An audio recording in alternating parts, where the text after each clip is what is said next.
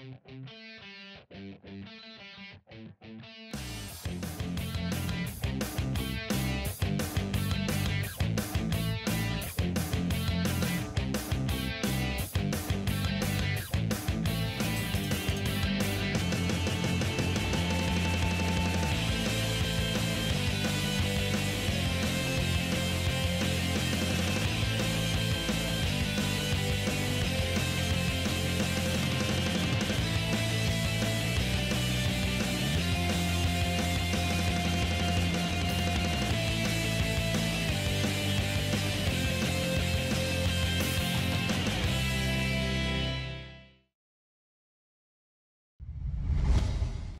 Magandang araw, oras na para sa pinakabagong balita sa lagay ng panahon at sa mundo ng science and technology.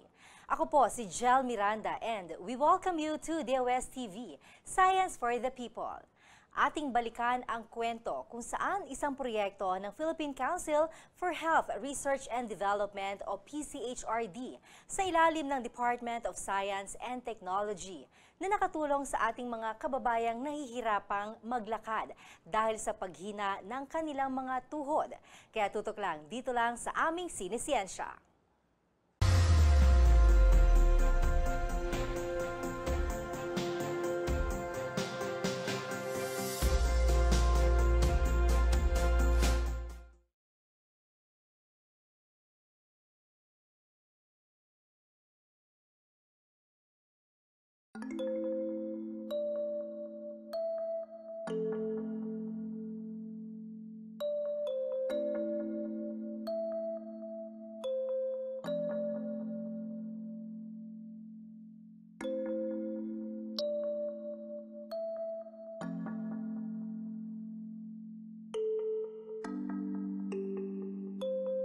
I was born with in a family of seven children.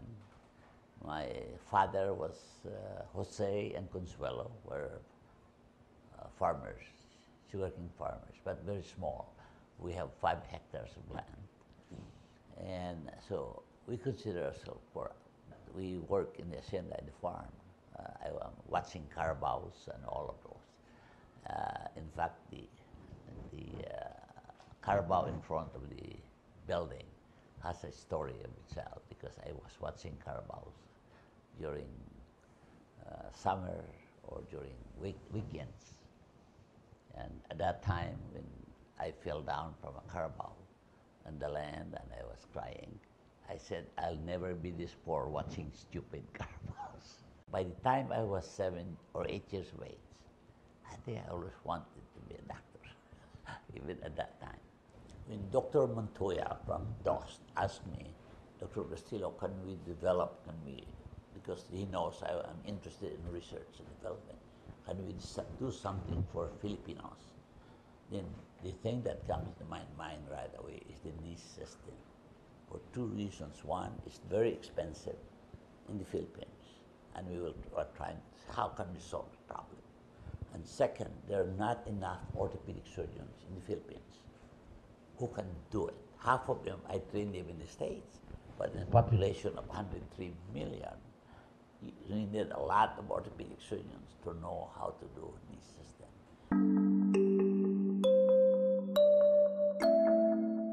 Through a meeting with Dr. Ramon Gustilo, who's a world-famous orthopedic surgeon, Dr. Ramon Gustilo is a US-based Filipino orthopedic surgeon who has done a lot in the area of orthopedic medicine.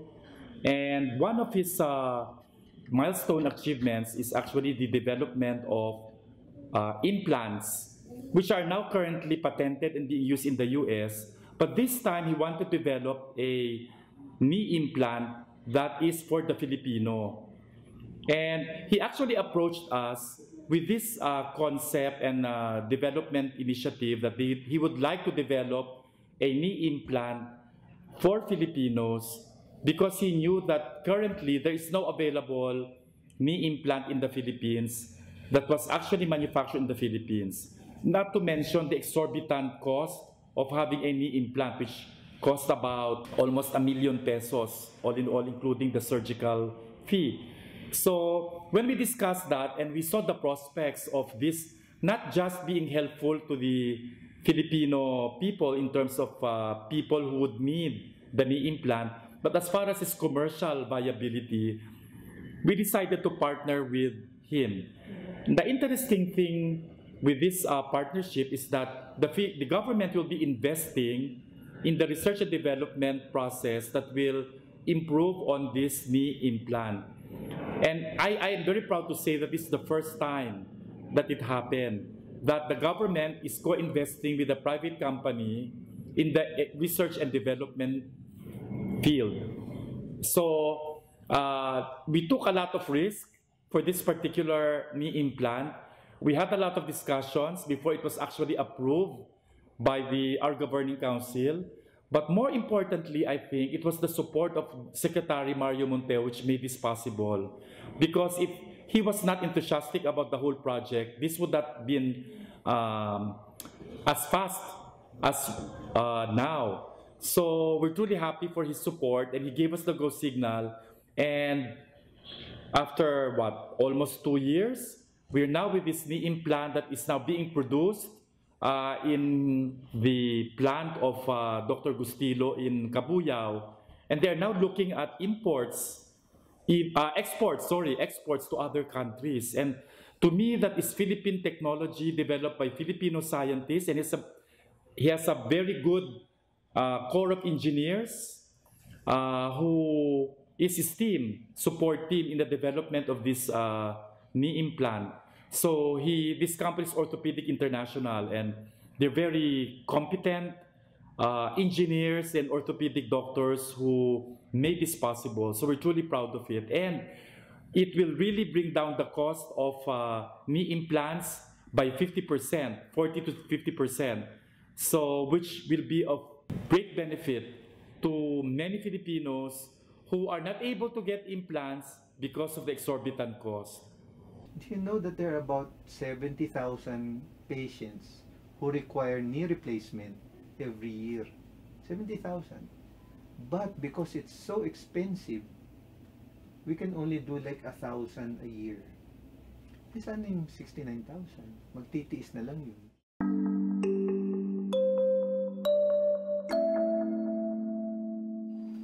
Nag-start ang akong tuhod sakit 1983. Dre. Sakit. Isa lang. Isa lang ka-legs niya. Isa lang ka-leg niya. Tapos, on, gina ginakuan man, ginapadoktor ko man sa titaw, mga pain reliever lang laban, inom na ko bulong, umpawan man siya. Pero hindi madala sa bulong, nagtabok din sa di. So, yun, amat-amat sa, amat-amat sa nga do, nag, ano no, nag-deform gid sa tubo. Kabudlay gid. Magtinda ko din, hindi ko katay, hindi ko katindog dali. Hindi ko kabilis, hinay lang, hinay na yun, yun, ano pa. Manukad pa ko. Babuylo pa. Di kabudlay gid sa akon hindi ka hindi ko kagiho kayo. Limitado gid akong giho. Kapin pa kung mag ano nang arthritis. Katinda lang kay ang misis ko naman ang ano, nagatinda da. So wala pa siya na operahan. Budlay gid kaayo sa iya iya nga panggiho, hindi siya kalakat maayo. Gasakripisyo sa ah, gas, gasakit ang iya nga mga tuhod nga hindi agid makaya. Uh, Jenas is a late four-year-old. He has a problem for the last 12, 15 years. He has not been walking too much. He's primarily in the chair and stand up and walk. Uh, she has knees that are very deformed. It's not osteoarthritis. Probably even be either gout or rheumatoid arthritis. Uh, his knees are going uh, outward because we use our knees for the, the whole our whole lives we have wear and tear of the knees when you walk, when you and I walk, our weight is bear from the center of the hip joint, the center of the knee, and the center of the ankle. as we age the the wear exceeds the repair of the knee the problem with the arthritis of the knee the wearing away it's a permanent thing eh. When the cartilage disappears no amount of medicine or injections will permanently cure him So it's really uh, restricted his quality of life for the next 10 or 12 years. And he doesn't have money to be uh, done.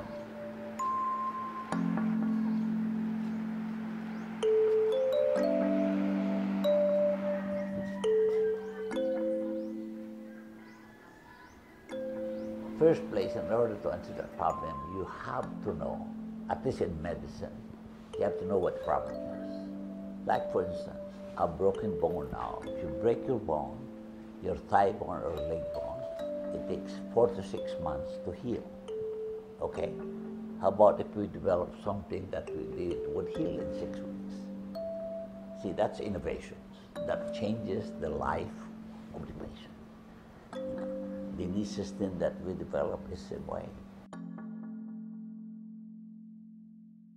So when I with Dr. Montoya and I approached, I said we have to solve the problems of total knee replacement, alignment, and how to make it uh, affordable, quality preserved and yet affordable. And I think we addressed both those problems. DOST with PCHRD will help the Dr. Gustilo. So they put in some money, Dr. Gustilo put in money, and together we built up the research, and the research became production and manufacturing. Now we're using it clinically.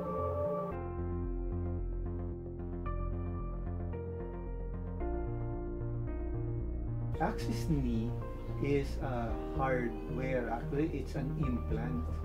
An implant to replace damaged parts. It is designed to replace a worn out knee. This is the human knee. Kneecap,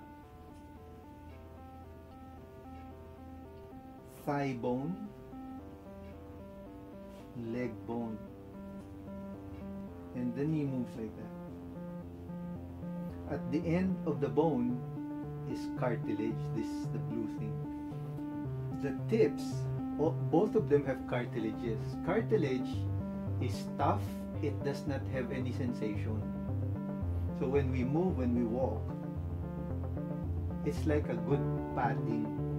As you age, this padding wears away, it becomes thin. Eventually, it disappears. When this disappears, it will be bone on bone. And when we walk on bone on bone, sa, sa Tagalog yun, buto sa buto. Masakit yun. That's very painful. There is no medicine that you can take to replace this. Like a broken brake pad, worn out, you cannot put oil to make it better. You have to replace it. Knee is a way of replacing this worn out pad. and essentially the, the procedure cuts the, the end part of our joint that is damaged. That means the cartilage that's worn out. You cut them off and replace it with metal and plastic in a correct alignment and correct stability, what we call ligamentous stability. The worn out cartilage, you just have to shape it off. Once you shape it off, the axis knee or, or implants like that, you put bone cement and you stick it in the bone. At the end, the tip or the end of this bone will have metal.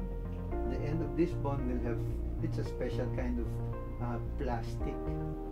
And together, when you move, there will not be any bone on bone contact. So the patient can walk without pain. Longevity of knee system, if properly done, it should last 25 to 30 years easily. Because the plastic wear, is wear plastic, is you only wear one zero, zero two millimeter per year. So it lasts for a long time. We calculated the thickness of the plastic. It can easily last for many. And we have several patients, some here and some in the States, There are now 25 years because they are well aligned, they still functioning. To do a knee in the States, it at least $30,000 per knee. Here, we can do it for five to 6,000 easily, and that covers everything. Covers the implant, covers the professional fee covers the hospital. Uh, for indigent, but for, indigent patients now, well, we tried to work. For really indigent patients, we just give them. You know, I can't tell you frankly how he heard of us, but all of a sudden he just showed up on the clinic and uh, with his knees, and he's from. So I don't know how he came to us. So he's the first axis knee system that we have done both knees, one at a time. Maybe they play, just place a because the periosteum is intact and an open, fracture. Because usually, if it's not an open fracture, they would present it for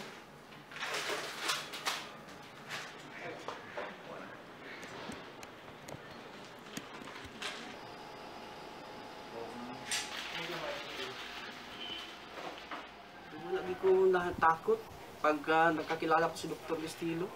Wala, mismi wala ko natakot. Okay. Amo nang sabi sa akin ni ano ni Dr. Atan nga siya lang ang doktor nga maka-repair sina. Ah, April 11, 2015. Ah, binoperahan ako.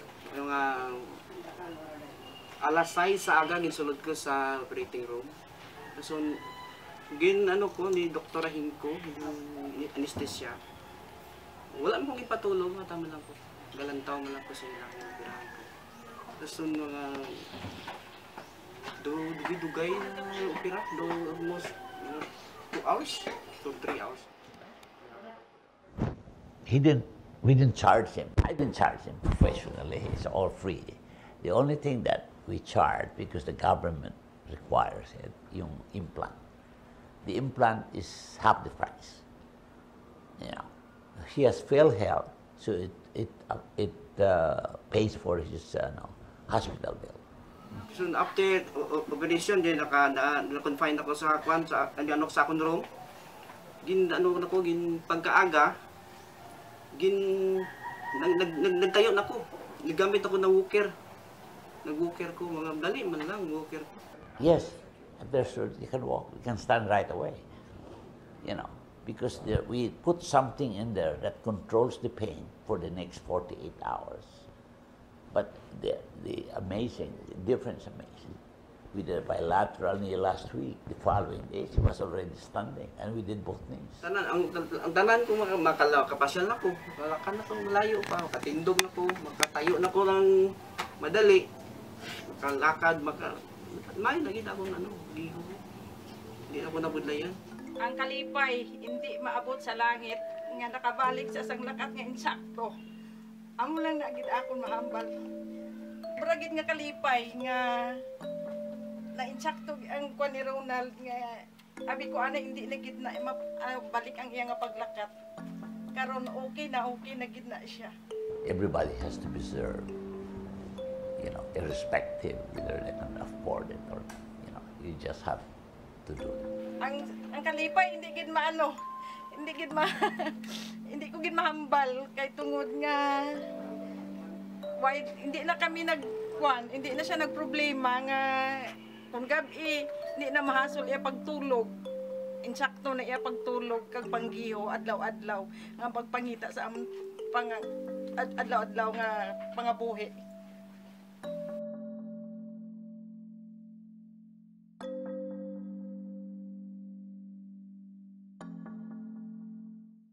I'm very optimistic that we'll be able to come to an agreement with the Food and Drug Administration. That's one. For this knee implant specifically, the training program is also being accelerated uh, because of our uh, talks and seminars with a lot of orthopedic surgeons. More and more of them are actually being trained on this particular procedure and implant. So as more and more doctors are using it, more and more patients will be using it. And eventually, what we would like to happen is that uh, it will be the standard as far as knee implants are concerned in the country. So we're aiming for that.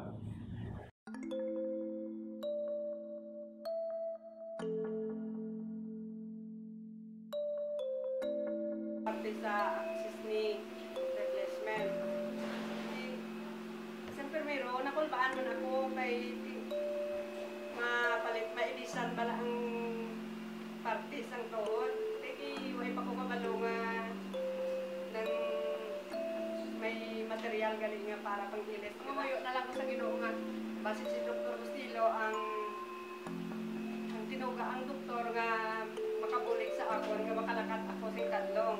Kamuto nga nagsugot ako nga magpa-opera sa access ni na replacement. Sa, sa karon makaobra na ko, makapamasyar na ko da sa gwa, hindi na ko mahuya nga mag lakat-lakat dira sa gwa kay tatlong natuhod ko mo maobra ko ng tanan. Ate, sa kalong isang mahal nga Diyos nga ginbuligan man ako kag si Dr. Bustillo sa iya magpanimuha man nga mabuligan man ako. Salamat na lang kay Dr. Bustillo sa iya pag opera sa akon, pag-ilis ang access ni you take the oath of medicine, that means you, might, have to relieve pain and. Yeah. My, my life is been medicine. Don't think about the money part. Just think that you're helping your patients. If you're good, money will just come in the backside of it. You know, just be a good doctor. You know, to me, that's the most rewarding part of medicine.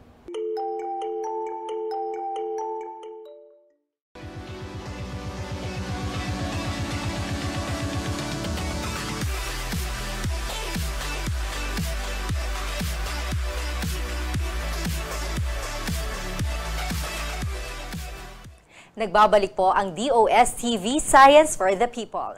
Alamin ang latest update sa lagay ng panahon ngayong araw mula sa DOST Pag-asa dito sa aming weather update.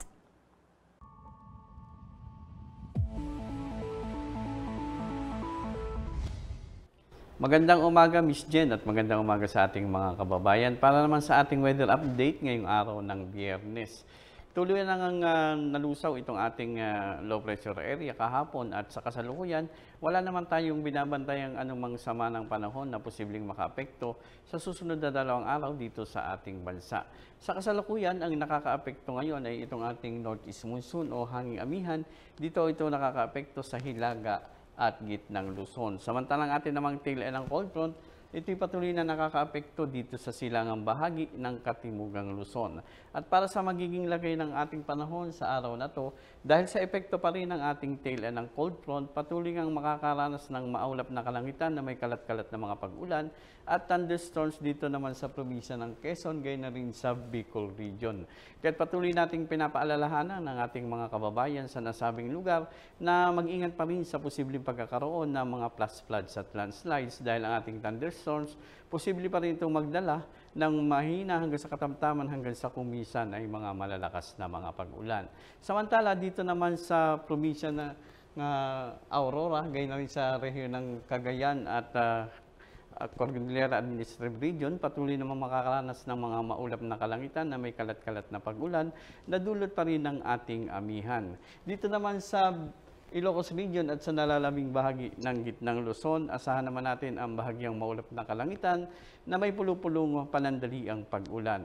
Sa Metro Manila at sa nalalaming bahagi ng Luzon, asahan naman natin ang maliwalas na panahon na may posibilidad pa rin ng mga isolated thunderstorms. Ang ating temperatura sa Baguio maglalaro simula 15 to 22 degrees Celsius. Samantala sa ibang bahagi ng Luzon, ang ating temperatura naman maglalaro simula 20 hanggang 31 degrees Celsius. Sa Kabisayaan, dahil nga may epekto pa rin ng ating uh, tail end ng cold front, magkakaroon ng mga, mga kalat-kalat na pag-ulan at thunderstorms dito naman sa probinsya ng Samar. Kaya uh, ingat pa rin para magkaroon tayo ng mga landslides at flash floods. Samantala sa nalalaming bahagi ng Kabisayaan, asahan naman natin ang maaliwalas na panahon na may posibilidad pa rin ng pagkakaroon ng mga pulupulong pag-ulan at pagkidlat pagkulog. Ang ating temperatura naman maglalaro simula 25 hanggang 31 degrees Celsius. Sa Mindanao, asahan naman natin ang pangkalahatang magandang panahon, subalit asahan pa rin ang mga isolated thunderstorms. Ating temperatura naman maglalaro simula 23 hanggang 33 degrees Celsius. At ah, sa atin namang mga mangisda, magamit pa rin ang maliliit na sakyang pandagat, mapanganib pa rin ang pumalaot dito sa mga sunod-sunod na baybaying dagat. Yan ay dito sa Batanes, Babuyan, Calayan, Ilocos Norte, Ilocos Sur, Cagayan, Isabela at Aurora. Malalaki po ang alon sa nabanggit na mga lugar, kaya't pinapayuhan natin ang ating mga mangisda na magpumalaot sa nasabing mga baybaying dagat. Silipin naman natin na magiging lagay natin panahon sa susunod na tatlong araw. Sa Metro Manila, bukas, patuloy pa rin tayo maapektuhan ng amihan. Magkakaroon tayo ng mga pulupulong, mahinang pag-ulan. Ang temperatura natin, 22 to 28 degrees. Sa susunod na dalawang araw, magkakaroon tayo ng maaliwas na panahon. Isolated thunderstorm lamang ang ating inaasahan. Ating temperatura naman, 22 hanggang 30 degrees Celsius. Dito naman sa Baguio City, bukas magkakaroon tayo ng maulap na kalangitan na may kalat-kalat na mga pag-ulan. Ito eh, bunga pa rin ng ating eh, amihan. Ang temperatura, 14 to 20. Sa susunod na araw, sa Sunday, magkakaroon tayo ng maaliwalas na panahon, isolated thunderstorms. 14 to 21 ang ating temperature. At pagsapit ng lunes, huling eh, lalamig ng bahagyang panahon, magkakameron tayo ng mga pulo-pulong mahinang pag-ulan. Ang temperatura, 15 to 22. At dito naman sa Legazpi City, bukas asahan pa rin ang mga kalat-kalat na pag-ulan at mga thunderstorms na dulot pa rin ng ating uh, tail end ng cold front. Ang temperatura, 24 to 28. Sa susunod na dalawang araw, posibleng gumanda ang ating panahon, mga isolated thunderstorm lamang. Ating temperatura naman, 24 to 31 degrees Celsius. At dito sa Metro Cebu, bukas asahan pa rin ang mga kalat-kalat na pag-ulan at thunderstorms. Temperatura, 24 to 29. Sa susunod na dalawang araw, posible namang um, maganda ang ating panahon, isolated thunderstorms, 24 to 30 degrees Celsius. At sa Davao City, sa susunod na tatlong araw, magkakaroon ng maaliwalas na panahon na may isolated thunderstorms. Ating temperatura, 25 to 33 degrees Celsius. At ang ating araw sumikat kaninang 6.25 ng umaga, muli itong lulubog sa ganap na 5.52 ng hapon. At yan ang latest mula dito sa Forecasting Center ng Pag-asa DOST. Ang inyong naging tagapag-ulat, Meno Mendoza. DOS TV would like to thank Filipino Creazione de Mano Incorporated. Visit their showroom at ground floor lobby, PSMBFI Building, 318 Santolan Road, West Crames, San Juan City. SciTev the world's leading source of reliable and authoritative news, views, and analysis on information about science and technology for global development. Visit their website at www.scidev.net. And that's it for today. For more information, just log on to www.dostv.ph and visit our social media accounts. Abangan din ang update sa lagay ng panahon mula sa DOST Pag-asa tuwing alas 5 ng umaga at alas 5 ng hapon. Always remember, in progress, science is the key. Kaya sabay-sabay tayong makiisa at gamitin ang siyensya. Kami ang DOSTV, the program that delivers science for the people.